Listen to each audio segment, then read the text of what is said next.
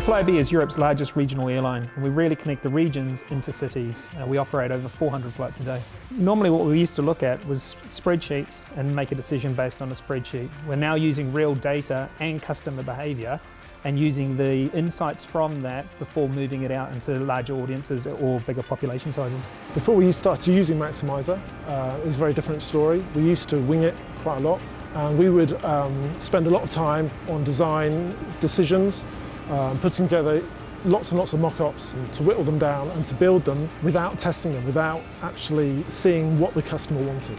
Trust is an important word because it's uh, the data allows us to trust it and we're seeing the transition when we look at our Google Analytics as well.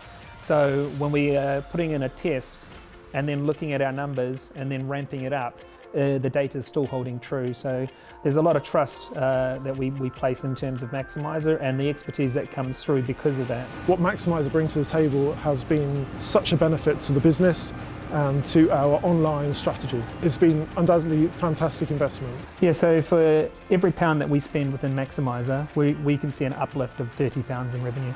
The product at Maxymiser is fantastic, the platform is amazing, but the thing that we really value is the client services team and the expertise, the insights that they bring to the table.